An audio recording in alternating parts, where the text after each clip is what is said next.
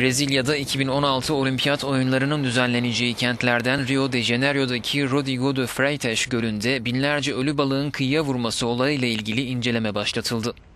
Su kirliliği nedeniyle balık ölümlerinin yaşandığı söz konusu gölde olimpiyat oyunları kapsamında kürek yarışlarının yapılması planlanıyor. Burada kürek çektiğinizde bir süre sonra mideniz bulanıyor ve hastalanıyorsunuz.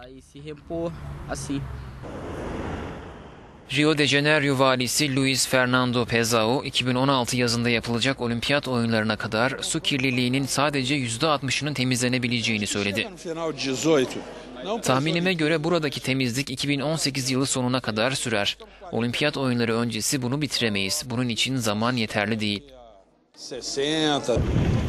60, Yetkililer aşırı yağmurlardan sonra su seviyesinin yükseldiğini, bunun da su sıcaklığını düşürdüğünü belirterek gölde termal şok yaşandığını ve balıkların da bu yüzden telef olduğunu vurguluyor.